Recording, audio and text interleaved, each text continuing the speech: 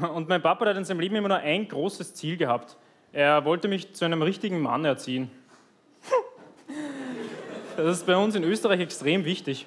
Und für so einen gestandenen Mann in Österreich gibt es eigentlich nur zwei einfache Gebote.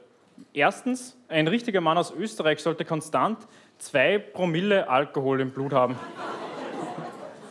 Das ist in Leipzig ein leichter Schwips.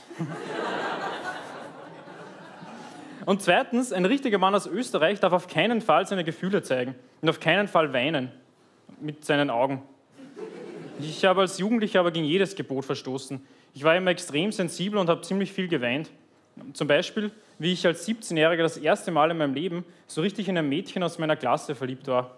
Und dann habe ich es bei meiner Geburtstagsfeier bei mir zu Hause im Bett mit einem anderen erwischt. Mein Papa hat dann zu mir gesagt, Benny, geh jetzt bitte wieder raus.